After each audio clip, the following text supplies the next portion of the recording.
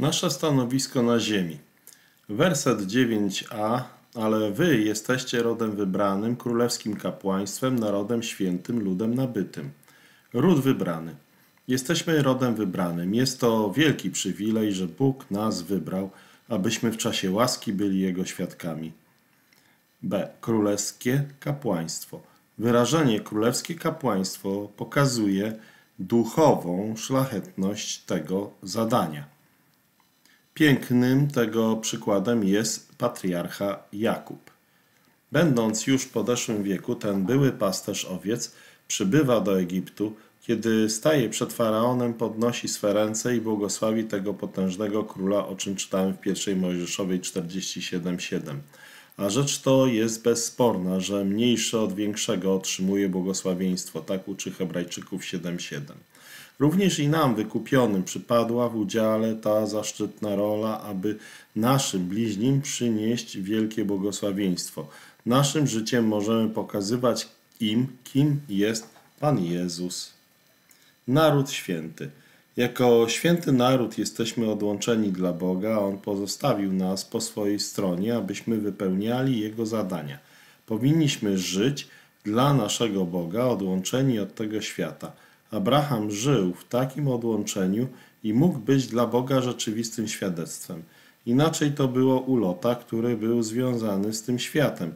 Kiedy później chciał swoich zięciów ostrzec przed nadchodzącym sądem, został uznany przez nich za żartownisia. Lud nabyty. W drugiej księdze Mojżeszowej, 19 rozdział, Bóg nazywa Izrael swoją własnością. Księdze Malachiasza przyszłą wierzącą resztkę nazywa Bóg również swoją własnością. Będą moją własnością, mówi Pan zastępów. W dniu, który ja przygotowuję i oszczędzę ich, jak ktoś oszczędza swojego syna, który mu służy. W czasie łaski wszyscy ci, którzy wierzą Panu Jezusowi, są Bożą własnością, który dał samego siebie za nas, aby nas wykupić od wszelkiej nieprawości i oczyścić sobie lud na własność, gorliwy w dobrych uczynkach. Tak mówi list do Tytusa, drugi rozdział, czternasty werset. Nasze zadanie na ziemi – Werset 9b do 10. Abyście rozgłaszali cnoty albo zalety tego, który was powołał z ciemności do cudownej swojej światłości. Wy, którzy niegdyś byliście nieludem, teraz jesteście ludem Bożym, dla was niegdyś nie było zmiłowania, ale teraz zmiłowania dostąpiliście. Teraz Piotr mówi o naszym zadaniu. Zwiastujemy cnoty tego, który powołał nas z ciemności do cudownej swojej światłości. Ciemność oznacza brak znajomości Boga. Byliśmy w ciemności, dopóki nie uwierzyliśmy w Pana Jezusa Chrystusa. W ten czas nie znaliśmy Boga, lecz dzięki ofierze na krzyżu zostaliśmy przyprowadzeni do cudownej Jego światłości. Znamy teraz Boga i posiadamy światło i zrozumienie. Jest to wielkie błogosławieństwo. Wiele mówi się o tym, jak ważna jest miłość pośród wierzących. Oczywiście jest to bardzo ważne ze względu na nasze świadectwo, ponieważ Pan mówi, potem wszyscy poznają, żeście uczniami moimi, jeśli miłość wzajemną mieć będziecie. Jana 14 rozdział 35 werset. Lecz potrzebujemy również Bożego światła, aby było składane ono we właściwy sposób. Na koniec Piotr wzywa nas do tego, aby w tym świecie zwiastować i ukazywać wspaniałość Boga. Syn Boży, będąc na ziemi, objawił Boga w doskonały sposób. Teraz, kiedy przybywa, przebywa w niebie, opowiadanie cech Bożych jest zadaniem wierzących. W naszym zachowaniu i we wszelkich naszych dążeniach Bóg powinien być przedstawiony jako Bóg miłości i światłości. W taki sposób możemy to urzeczywistniać. W jaki sposób możemy to urzeczywistniać? Naśladując Chrystusa, jeśli w naszym życiu widoczne jest Jego usposobienie, jeśli zachowujemy się podobnie jak On, wtedy ludzie widzą w nas Jego cechy.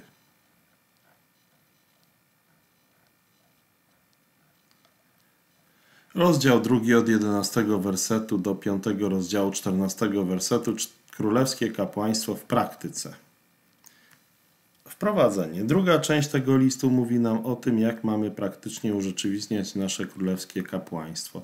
A. W każdym stanie, we wszystkich relacjach jako chrześcijanie powinniśmy to zadanie realizować jako słudzy, pracobiorcy, w stosunku do swoich panów, pracodawców, co mówi nam rozdział 2, 18 werset do 25 wersetu. Żony w stosunku do mężów, rozdział 3 od wersetu 1 do 6. Mężowie w stosunku do żon, rozdział 3, werset 7. We wszystkich życiowych sytuacjach nasze królewskie kapłaństwo realizujemy w różnorodnych okolicznościach. W cierpieniach, rozdział 3, 14 werset do 4 rozdziału, 13 werset. Będąc niesłusznie oskarżani, rozdział 3, werset 16. Będąc pod wpływem szczególnej Bożej łaski, rozdział 5, werset 5.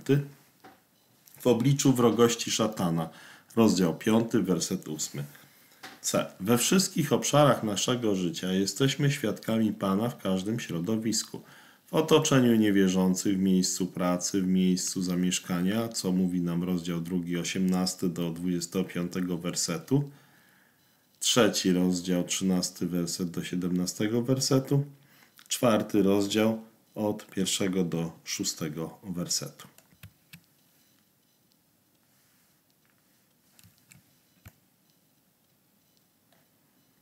Apostoł Paweł, pisząc o praktycznym życiu chrześcijańskim, wszystko dobrze porządkuje. Na przykład w liście do Kolosan zwraca się najpierw do grona wierzących, następnie do małżeństw i rodzin, a w końcu do pracobiorców i pracodawców oraz pracowników w dziele pańskim. Piotr przeciwnie kieruje swoje pouczenia nie systematyzując przy tym otoczenia, którym składamy świadectwo. Dlaczego? Ponieważ on wie, jak to bywa w codziennym życiu. W ciągu dnia bywamy w różnych miejscach, ale w każdym z nich mamy piękne i wzniosłe zadania do spełnienia, a mianowicie to, aby być świadectwem dla naszego Pana.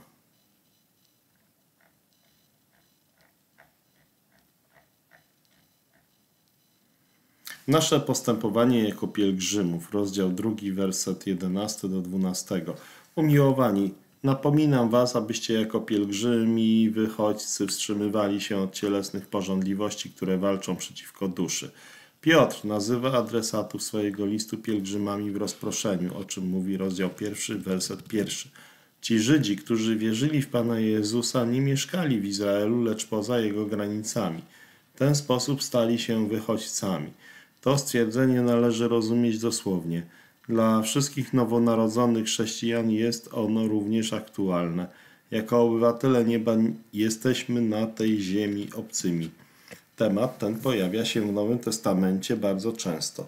Pan Jezus modli się za swoimi uczniami do Ojca, mówiąc: Lecz oni są na świecie, nie są ze świata. Jana 17 rozdział, wersje 11 i 16.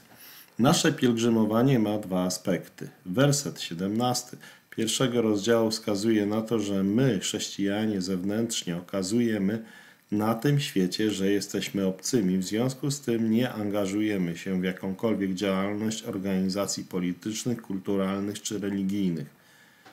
W rozdziale drugim, werset 11, chodzi o to, że tę obecność odczuwamy również w naszym, wnętrzu. Jest nam obca porządliwość, Osądzamy w swoim sercu sposób życia otaczających nas niewierzących ludzi oraz roszczenia grzechu mieszkającego w naszym ciele. Hamujemy cielesne porządliwości, które obciążają naszą duszę. Jeśli przyjmujemy i urzeczywistniamy napomnienia apostoła Piotra i żyjemy na tej ziemi jako pielgrzymi, okazując to na zewnątrz i będąc nimi wewnątrz, Wtedy nasze dusze są otwarte dla Boga i Jego dzieła, które sprawuje On na tej ziemi. W jaki sposób możemy to zrealizować każdego dnia? Kiedy będziemy patrzeć na Pana Jezusa, doskonałego pielgrzyma, który żył kiedyś na ziemi. On przyszedł z nieba na ziemię, wypełnił swoje dzieło i powrócił do niebiańskiej ojczyzny. Począwszy od żubka aż do krzyża, okazywał zarówno w swoim sercu, jak i poprzez zachowanie, że jest obywatelem nieba. Również my jesteśmy niebiańskimi ludźmi i ta myśl dodaje nam siły, by żyć na ziemi jako obcy. Werset dwunasty. Prowadźcie wśród pogan życie nienaganne, aby ci, którzy was odmawiają jako złoczyńców, przypatrując się bliżej dobrym uczynkom, wysławiali Boga w dzień nawiedzenia. Werset ten pokazuje nam trzy rzeczy. Na początku jesteśmy wzywani, aby być wzorem dla nas, w naszych relacjach z niewierzącymi. Powinniśmy wypełniać nasze obowiązki, nie zniesławiać nikogo oraz, jeśli to od nas zależy, żyć ze wszystkimi w pokoju. Po drugie, powinniśmy być świadomi, że niewierzący nie rozumieją wierzących i pogardzają nimi. Często mówią o nich źle i oczerniają ich. W dniu nawiedzenia Bóg objawi wszystkie ludzkie czyny w swoim świetle. Jeśli nasze zachowanie na ziemi było odpowiednie, to zostanie to kiedyś oficjalnie potwierdzone. Niewierzący będą zmuszeni uznać nasze dobre czyny, będą musieli też zaakceptować Bożą ocenę naszego postępowania. Bóg zostanie w tym uwielbiony.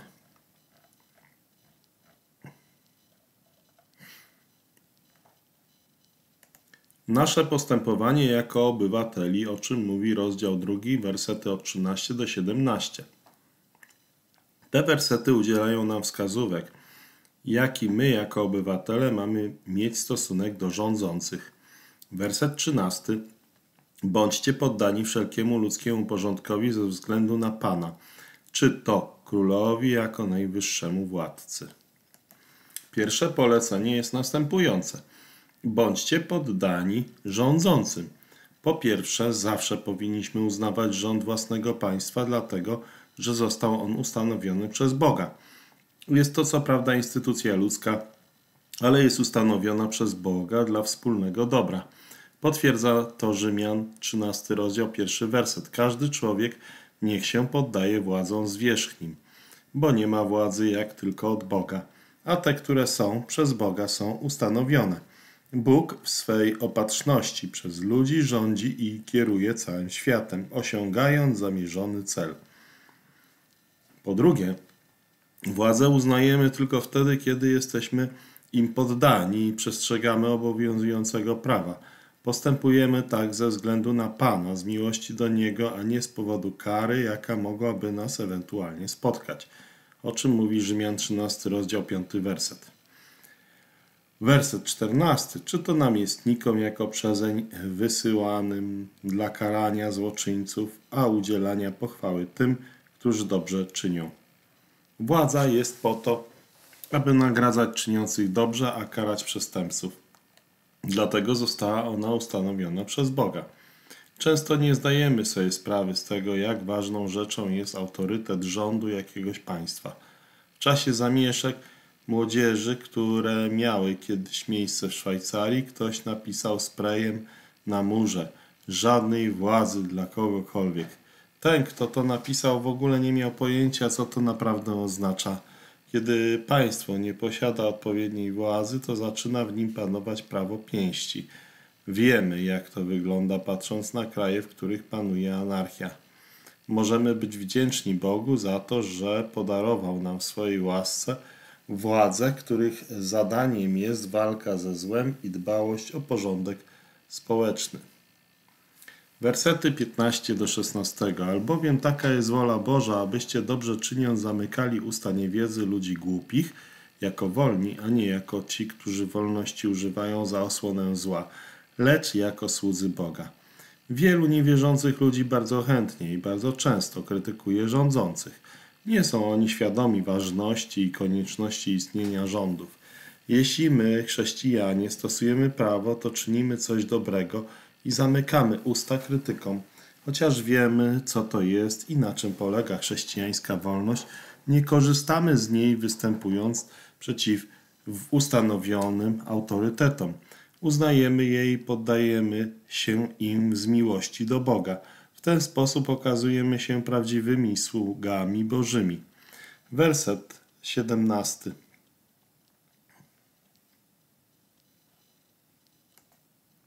Werset 17. Wszystkich szanujcie, braci miłujcie, Boga się bójcie, króla czcicie. Werset ten zawiera cztery nakazy. Jeśli je wypełniamy w równej mierze, będziemy właściwie postępować w tym świecie. Wszystkich czcijcie. Powinniśmy czcić wszystkich ludzi, a szczególnie tych, którzy zajmują w społeczeństwie szczególne stanowisko, jak nauczyciele, przełożeni w miejscu pracy i tym podobne. Braci, właściwie braterstwo, braci, braterstwo, miłujcie. Powinniśmy miłować wszystkich wierzących. Miłość jest czymś znamienitszym niż cześć. Miłość okazuje się sercem. Miłujemy ich, ponieważ należą do Bożej rodziny. Boga się bójcie.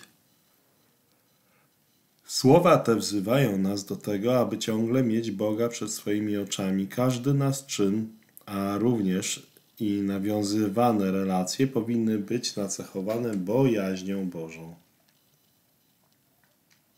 Króla czcijcie.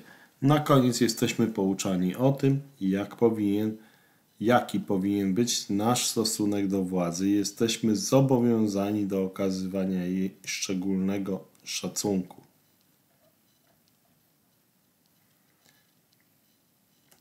Nasze postępowanie w miejscu pracy. Rozdział drugi, werset od 18 do 25. Wersetach 18 do 20 tego rozdziału Piotr zwraca się do sług, którzy w tamtych czasach służyli w domach bogatych ludzi. Z tych słów wynika z jednej strony pouczenie, jak mają wyglądać relacje, relacje pomiędzy pracodawcą a pracobiorcą, a z drugiej ogólne zalecenia dotyczące zachowywania się w trudnych sytuacjach. Wersety 21 do 25 jeśli Pan Jezus jest naszym wzorem, to musimy wziąć pod uwagę, że Jego życie na przykład, jako przykład dla naszego postępowania, o czym czytamy w wersetach 21-23. Jego śmierć na krzyżu jako motywacja do życia dla sprawiedliwości. Werset 24. Jego śmierć na krzyżu jako motywacja do życia dla sprawiedliwości.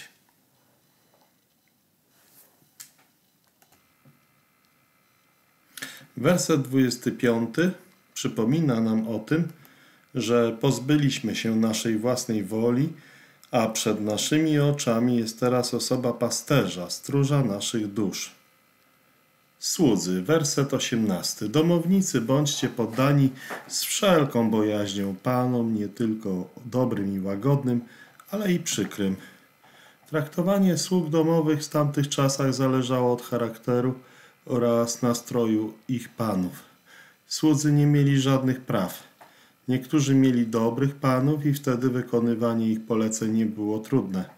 Inni natomiast musieli służyć złośliwym i nieprzewidywalnym panom. Ci żądali czasem od nich rzeczy, które były dla nich poniżające. Wierzącym sługom dawało to szczególną okazję, by swoją uległością świadczyć o Panu Jezusie. Powyższe zalecenia apostoła można przenieść również na dzisiejsze czasy. W swoich pouczeniach Biblia często odwołuje się do ówczesnych stosunków społecznych, wskazując ogólne zasady postępowania. Tak jest i w tym przypadku. Jako pracownicy powinniśmy wykonywać polecenia nie tylko tych przełożonych, którzy są mili i uprzejmi, ale i tych, którzy nie grzeszą uprzejmością i taktem.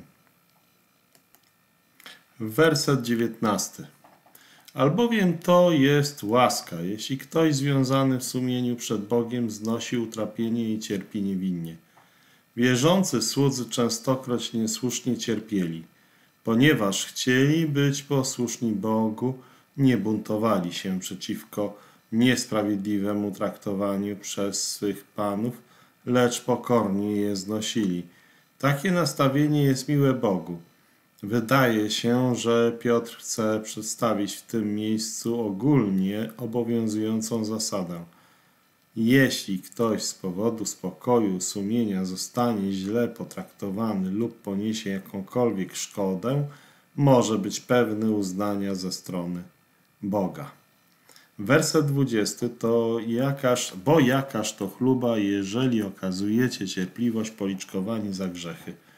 Ale jeśli okazujecie cierpliwość, gdy za dobre uczynki cierpicie, to jest łaska u Boga. Powiedzieliśmy już, że słudzy nierzadko cierpieli ze strony swoich panów. Niektórzy więc od nich uciekali.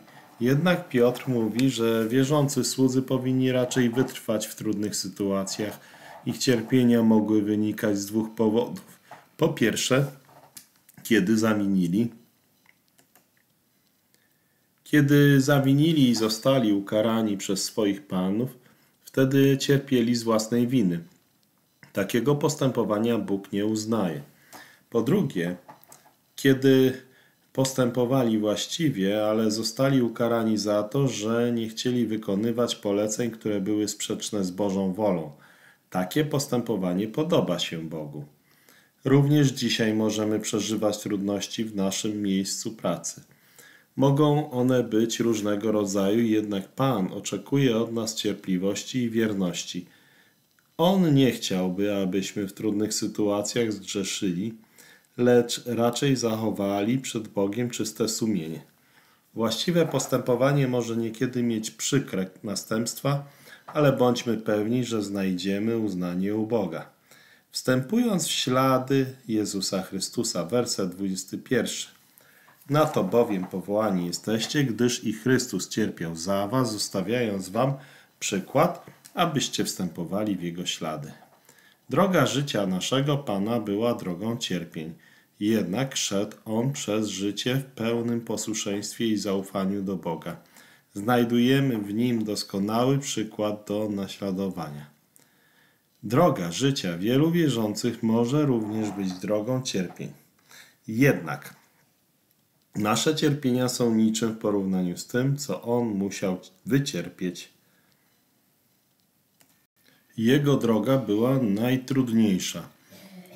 O nim napisane jest proroczo: Pomnij, Panie, na zniewagę sług Twoich, którą noszę w sercu moim jako doznaną od wielu narodów, którą znieważają, Panie, wrogowie Twoi, którą wyszydzają ścieżki pomazańca Twego. Psalm 89, wersety 52 do 53. Postawa Pana Jezusa w obliczu niesprzyjających okoliczności, wrogości ze strony świata i straszliwych cierpień była doskonała. Jego śladami powinniśmy podążać. Przypominam sobie lata dzieciństwa. Kiedy zimą napadało dużo śniegu, my jako dzieci często próbowaliśmy iść po śladach, które pozostawili na śniegu dorośli. Nie było to takie łatwe. Często chwialiśmy się i trudno było utrzymać równowagę, a nierzadko przewracaliśmy się. Pomimo tego dalej próbowaliśmy iść. Podobnie dzieje się w życiu duchowym. Ślady pozostawione przez Pana Jezusa są doskonałe. Kiedy próbujemy w nie wejść, czasami jest to bardzo trudne.